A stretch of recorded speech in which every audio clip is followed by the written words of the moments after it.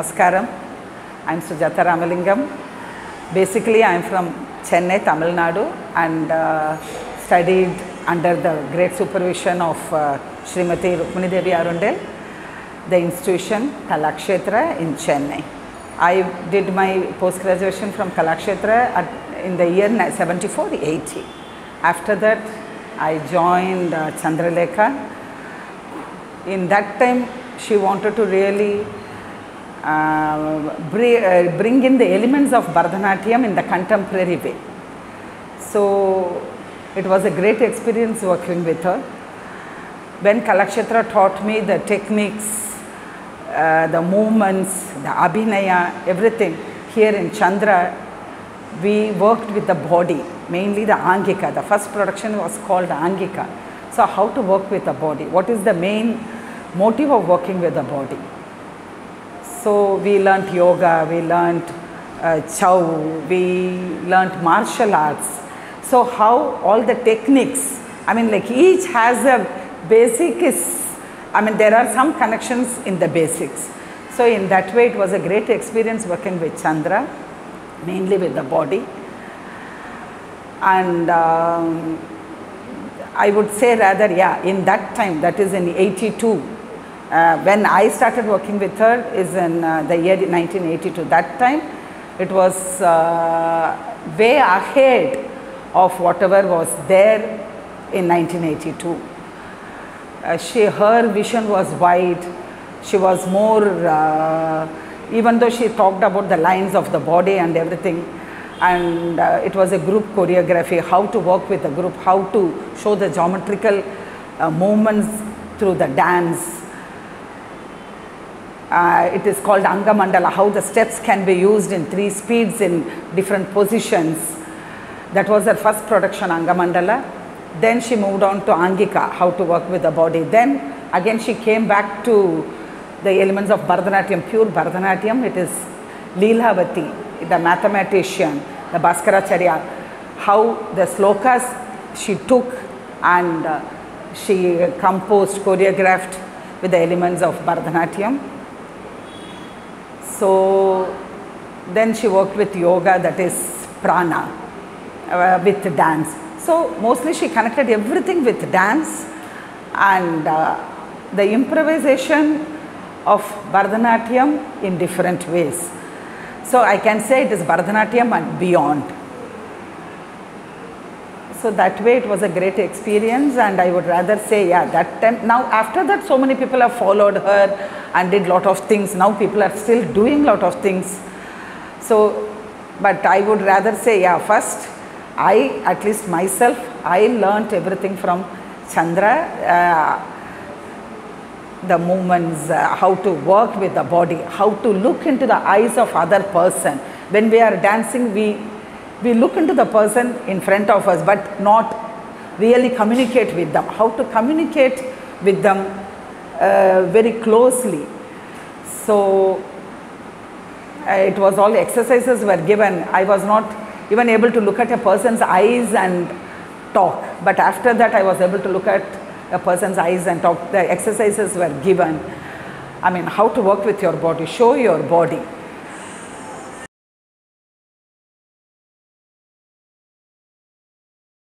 While discussing about uh, the evolutionary process of Manipuri dance, it cannot be said in a very short time, in very few words. The process, it goes back to the pre-colonial times, then the post-colonial, the nomenclature of Manipuri, how it has become classical, the classicization of the dance form after um, independence and uh, it has it is a long trajectory. Satriya dance form introduced by Mahapurush Srimanta Shankardev, a great saint, philosopher, dramatist of Assam in the last part of 15th century as a medium of to preach his Vaishnava faith in Assam.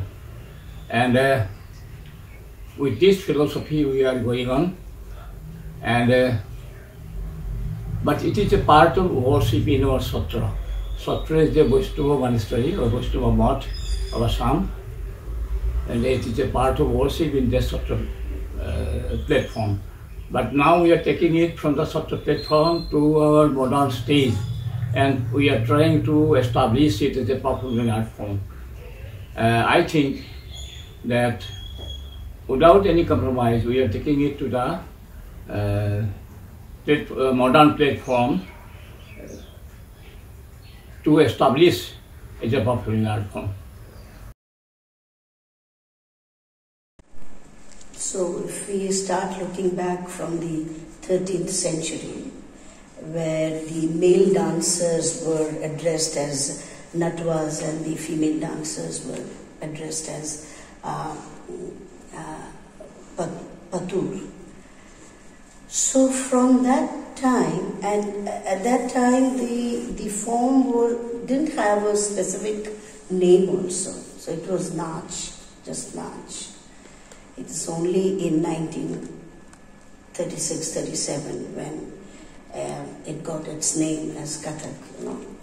The growth has been stupendous in technically, uh, costume wise, attire, uh, instruments that are used, uh, theme and presentation, makeup. So everything has has been fine tuned and balanced what we what we see today. So the growth is really really commendable and uh, beautiful. I would say beautiful.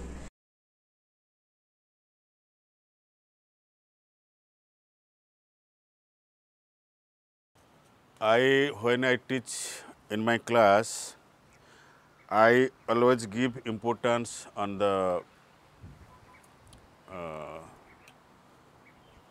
tra- our tradition. Understood? So to make a dancer body perfect in Odissi dance, I do many body exercise to make it not strong, to make it loose, not the strong exercises. So I always do how to body make to fit a body to fit in the, the Odissi dance field because Odissi is very lyrical dance. It's not strong. So you have to. So I always give uh, importance on teaching. Uh, first, they make how to prepare like preparation to before I teach something uh, one item or whatever. So I do many exercises which makes body flexibility and I always keep my tradition very strongly because I follow my gurus this much. First, uh, to be a dancer, you have to work minimum four to five hours every day with a good guru. Otherwise, the whatever you work for five hours, it will be lo- lost. It will be lost, no value. So you need to be a good dancer to to attract the audience. So you have to do every day four to five hours of exercises. Then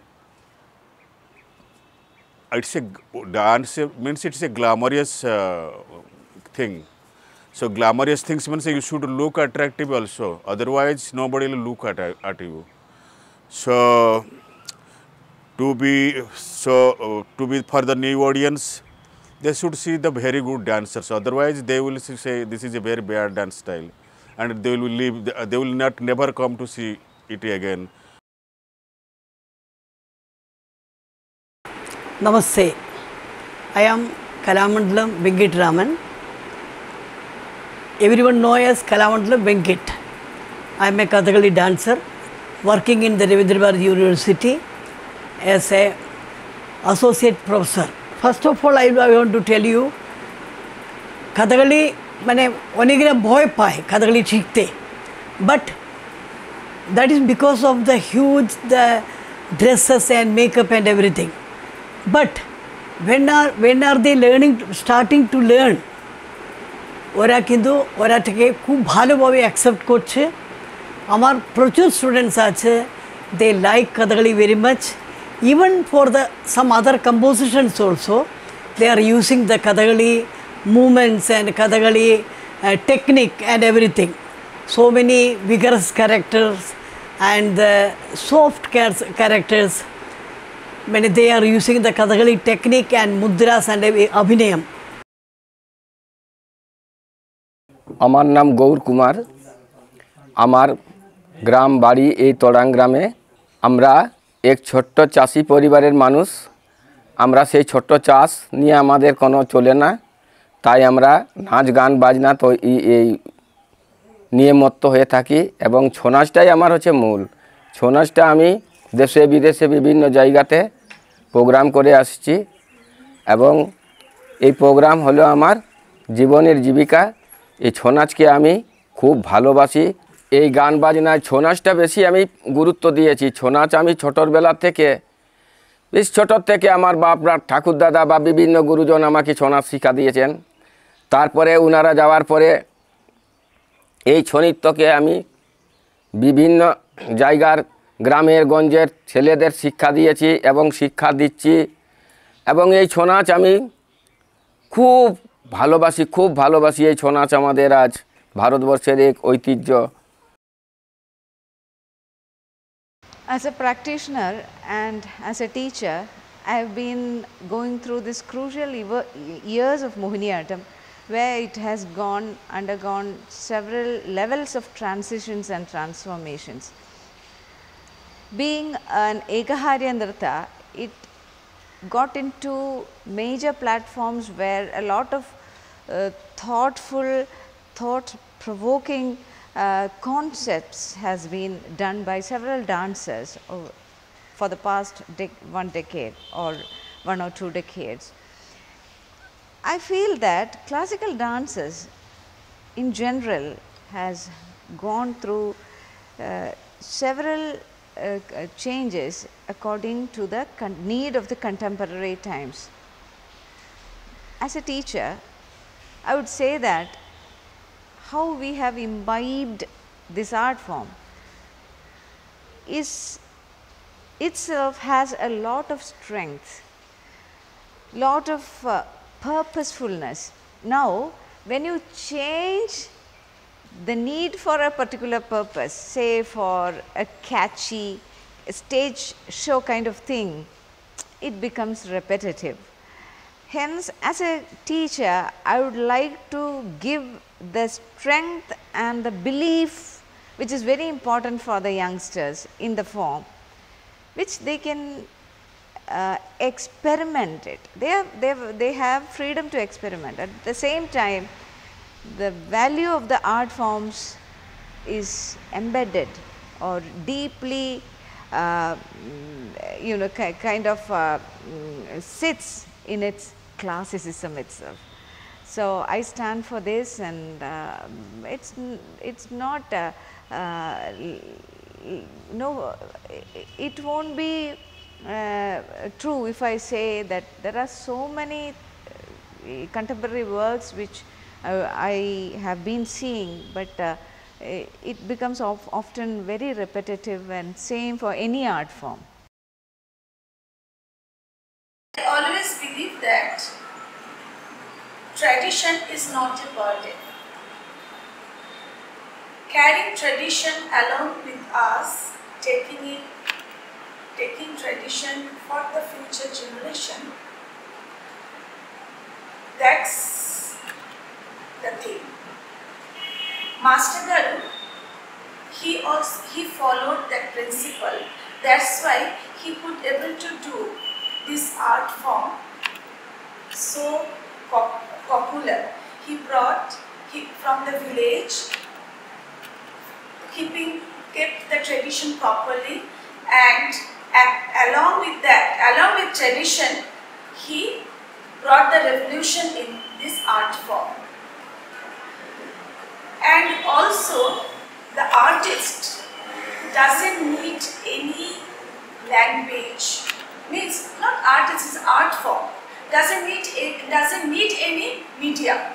If you are a good artist, you should be able to uh, show the show the emotion, show uh, to make the uh, audience understand through your expression. That is art.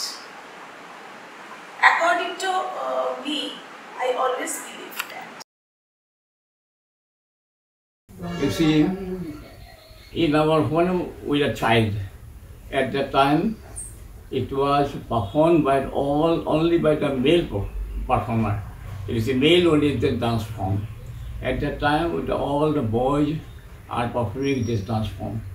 And, but when we are taking it the Satra platform to our modern stage, proscenium stage, uh, we are taking girls.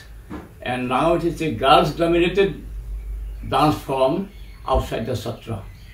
And this, in this journey, we have to change some uh, in the in costume, in ornaments, yeah, uh, also in style of performance also.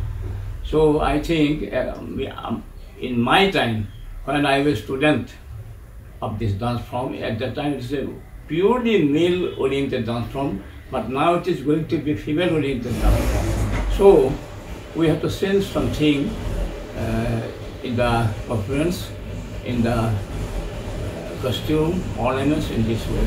But we are not compromising in our philosophy.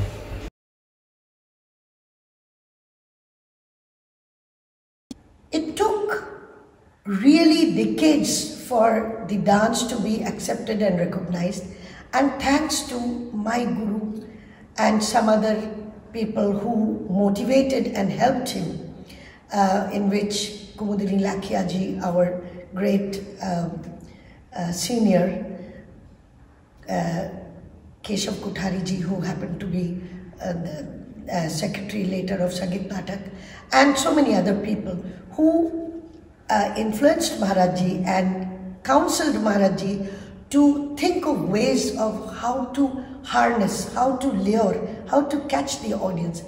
If we can make an audience then only we can sustain अगर देखने ही वाला नहीं हुआ तो artist कहाँ survive करेगा? वो तो जंगल में मोर नाचा किसने देखा? मोर तो बहुत सुंदर नाचा। पर if there is no appreciation तो बेकार है उसका नाच।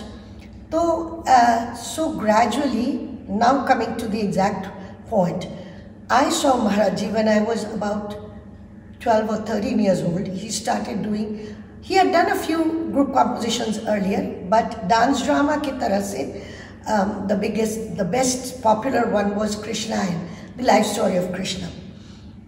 Or some other historical uh, dance dramas like Wazid Ali Shah ki Jivan Pe, uh, Shah Awadh.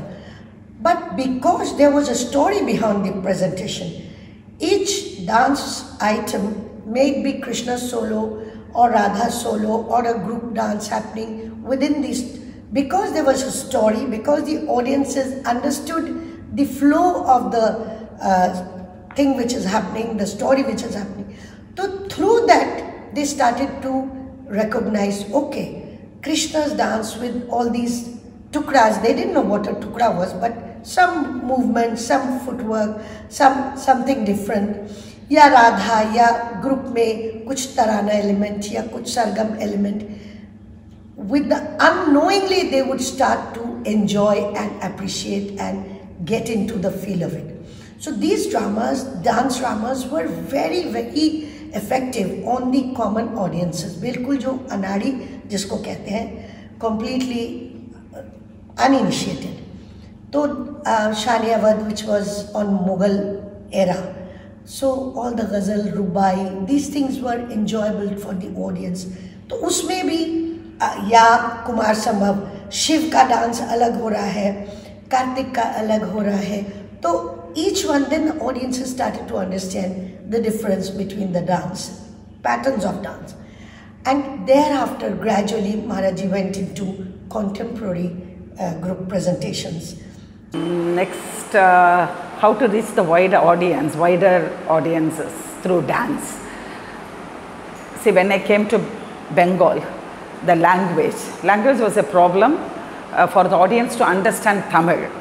When I teach the students, I have to teach them the meaning, the word, everything, and then I make them understand. But audience, we can't, we just say the gist of the Varnam or a Padam or whatever we are doing, and we make the audience, we try to make the audience understand. It is not, the audience is not all the dancers. There are different people come to watch the dance. So maybe first it is, I mean like language is a barrier. So I thought why don't we change the language. So I have composed some Bengali mm, uh, songs like Rabindra Sangeet in Bharatanatyam. And maybe, uh, maybe I am trying, now I will, I mean like I am trying to do a repertoire full in Bengali language so that because I am living in Bengal, being a Tamilian, I have come to Calcutta, I am living in Bengal. So now I am trying to uh, produce a repertoire that is Alaripu Jatishwaram, what we have in Bharatanatyam. In Bengali language I am trying. So in this way I thought it would be easier to attract the audience through the language. And uh, as I spoke before about Chandra, so contemporary work, always we talk about only the, uh, the god, goddesses, uh, Shiva, Vishnu, Parvati, uh, Saraswati, Lakshmi and why not the social thing like a woman. Maybe now recently, I mean like so many people are doing so many things. Maybe the life of Rukmini Devi Arundale itself can be portrayed and maybe we can show it. So how the dance was for, came into um, being so that people can relate. So maybe a social story. Uh, maybe I have in mind of doing a fairy tale also. Why not in Bharatanatyam a fairy tale? So a lot of things like this maybe can attract the audiences, those who can relate with the dance. So in this way, I think we can do a lot of things to attract more audience to this classical dance form. Thank you.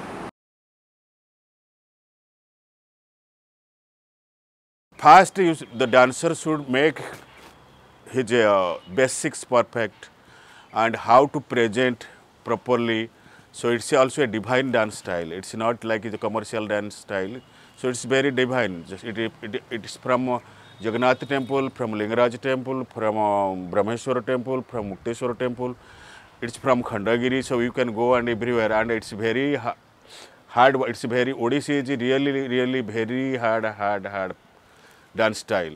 So the dancer should make the wa- from the uh, below part of the body from waist to the feet stronger and from the upper part should be very flexible and uh, just uh, you they can use any moments like uh, the that should look nice.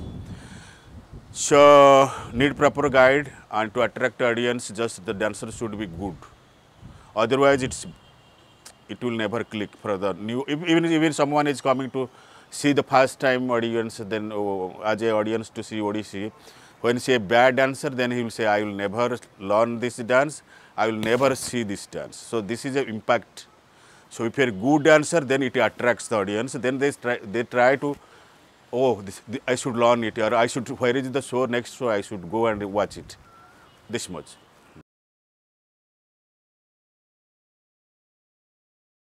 You know, um, I feel that whenever one does anything, anything with conviction, hmm, with in depth understanding and training, of course, and with conviction, it is conveyed beautifully, no matter who your audience is if you have the command, the understanding of a form, whether it is a dance form or music or anything, or I would say Indian or, or you know, Western or whatever.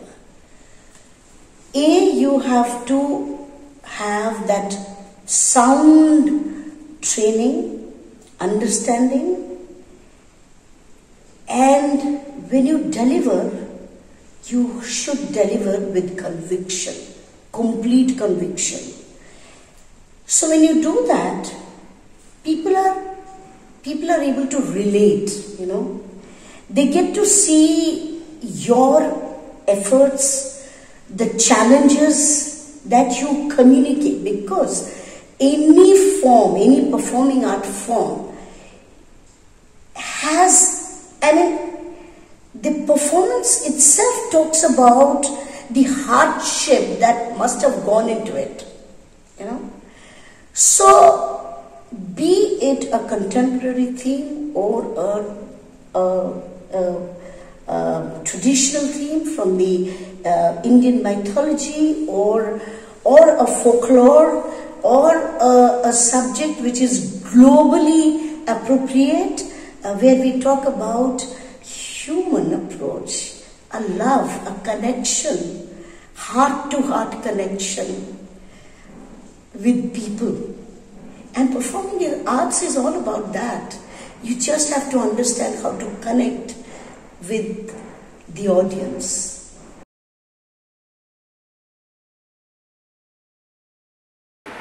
Now, about the audience.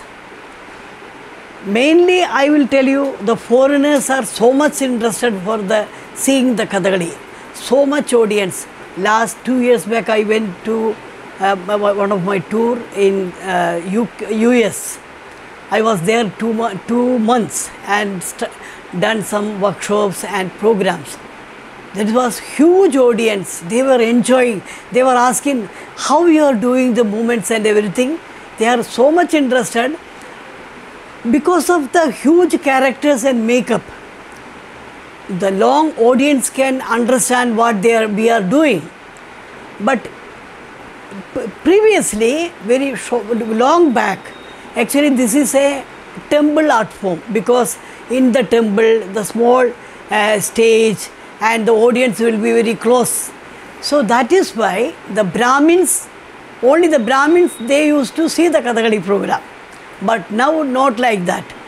Now all the audience they are enjoying and the all we are having the all night program, full night from evening 6 to early morning 6 6:30 to 7 the audience are there. They are very much interested.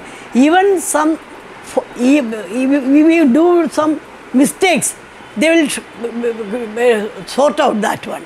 You are doing that mistake. Why do you like that even that, that kind of audience also there they are so much interested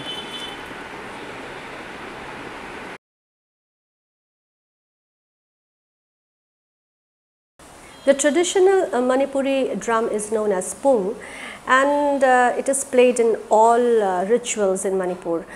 It is considered to be an incarnation of Lord Krishna and there was a time when pung was not allowed uh, to be touched by women. Again, many exponents of Manipuri dance, they uh, struggled against this, fought against this um, rule, this social rule, and um, slowly things have started changing. But still, there are many orthodox exponents who do not support the poon being played by women. In very ritual, uh, in religious spaces, like for example, uh, the temple precinct of Sri Sri Govindaji temple, poon should not be played by a woman. In the proscenium, on the proscenium, of course, the scene is different. And uh, my father Guru Bipin Singh was one of the main exponents who had uh, who believed that to be a complete dancer one must know how to play pung. So um, there's an uh, composition there's a composition named Mridang Vadan which is uh, a display of intricate rhythm patterns. And he taught this to all his students and um, there are many choreographers who use um, this Mridang Vadan and uh, Mridang Vadan in their choreographies. I have personally used movements of Pung Cholom. The Pung Cholom or the dance with the drum, they have such intricate movements, uh, very graceful and vigorous at the same time, many acrobatic feats. Those I have used in my choreographies following the footsteps of my parents who have imbibed these, uh, incorporated these movements and these stances in their compositions. So even I have done that. Um, and Pung still remains a very, it occupies a very sanctified uh, place in all the lives, uh, in the lives of all the Manipuri dancers. এই ছৌ নাচ পূর্বপুরুষ ধরে চলে আসছে। এই ছৌ নাচ এখন এমন ইতিহাস হয়ে গেছে যে আমাদের গ্রামে ছোট ছোট ছেলে মেয়েরা সবাই বিদেশে প্রোগ্রাম করার জন্য বা ভালো জায়গাতে প্রোগ্রাম করার জন্য সবার ইচ্ছুক এবং ছৌ নাচ এমন জিনিস যে আমরা একে নিয়ে ভুলে থাকি একে নিয়ে ভুলে থাকি আর এ আমাদের প্রাণ। এখন এই ছৌ নৃত্য আমাদের গ্রামে গঞ্জের সব মেয়ে ছেলেরা এই ছৌনৃত্যর উপরে গুরুত্ব দিয়েছে। তারা আবার সেই আসরে স্টেজে গিয়ে ছৌ নাচের প্রোগ্রাম শুরু করে দিয়েছে। Actually I teach boys and girls both so I because in the experiment in my life after এই লড়কি girl getting marry then they left dance so all hard work just finish to the garbage. So so I I decided if the girls are coming, I will teach. So I will never say no. But boys are just very sincere and uh, and they give time. So those are interested, maybe boy, maybe girl. So it does not matter. Matter on just who can, who is working hard. So I give impo- uh, uh, when I see saw a girl is doing hard work, then I am giving importance. Then if a boy is very good in dance field, so I give importance too. And uh, because I mean nowadays I am doing Odissi uh, on male dancers, because uh, in past when the my gurus they teach only females and not good good good gurus and uh, so only gurus teaches only female dancers and all items are uh, choreographed on females so no non item is on males so i i thought i should do it work on it uh, then i i taught my boys and i do choreography differently from girls. then I am touring with my boys everywhere, all, all over the globe. Thank you.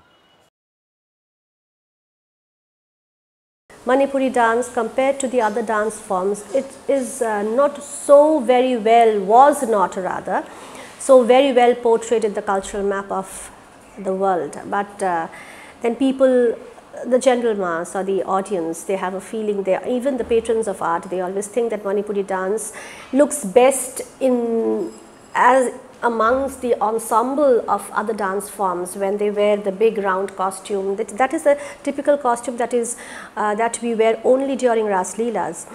And they think that only in those ensembles manipuri dance can be best viewed. Otherwise it is very monotonous. The movements are very boring uh, repetitive.